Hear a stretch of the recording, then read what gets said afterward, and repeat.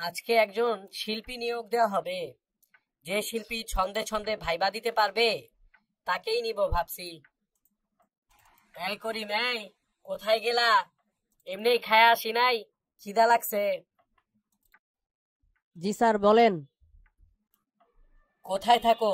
ডাকাডাকি করে পাওয়া যায় না। যে দেখো কে কে ভাইবা দিতে আসছে এক এক করে ভিতরে পাঠায় দাও। আর আমার জন্য এক কাপ চা নিয়ে আইসো। জি স্যার পাঠাই দিচ্ছি।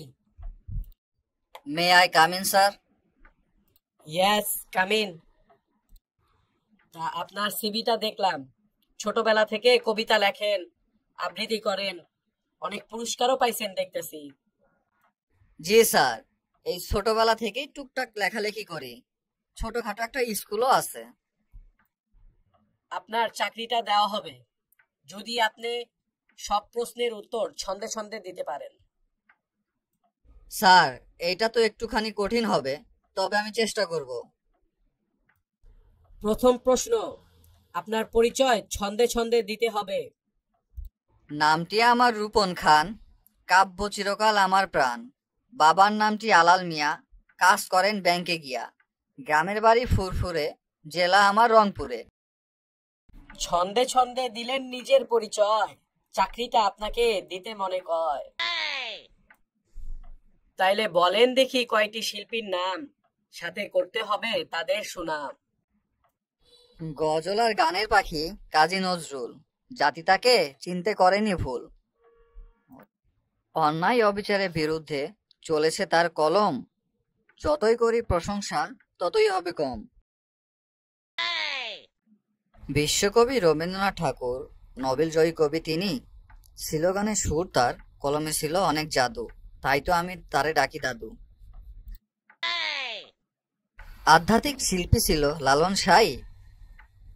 তার গানেতে আমি প্রাণটা ফিরে পাই। খাঁচার ভিতর অচিন পাখি কেমনে আসে যায়? লালন সার এই গানটি আমি বেশি বেশি গাই।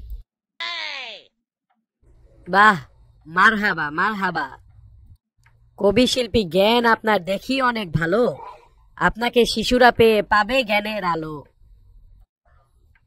আপনি আগামী মাসের এক তারিখে করবেন জয়েন। মন দিয়ে শিখাবেন শিশুদের পয়েম। আন্তরিক কৃতজ্ঞতা ও ধন্যবাদ জানাই আপনাকে, স্যার। শিশুদের পয়েম শেখানোর আছে অনেক দরকার। মন দিয়ে কবিতা আর ছন্দ শেখাবো, করিলাম শপথ আজ। ছন্দ আর কবিতা শেখানো হবে আমার সারা দিনের কাজ। স্যার তাহলে বাড়ি ফিরে যাই বরং আজ। আগামী মাসের এক তারিখে শুরু করিব কাজ। চা কফি কিছু খেয়ে যান আজ। আগামী মাসের এক তারিখে না হয় শুরু করিবেন কাজ? স্যার আপনাকে বলিতে নাহি লাজ। চা কফি আগামী দিনের জন্য জমা থাক। আগামী মাস থেকে হবে প্রতিদিন দেখা। কপালে যদিও থাকে আমার চাকরিটা লেখা। শিশুদের কাব্য শিখাতে আমি ভালোবাসি? আজকের মতো তাহলে স্যার, আমি আসি। আগামী মাসের এক তারিখ থেকে আসতে হবে রোজ। এক তারিখ দুপুরে আমরা করিব ভোজ।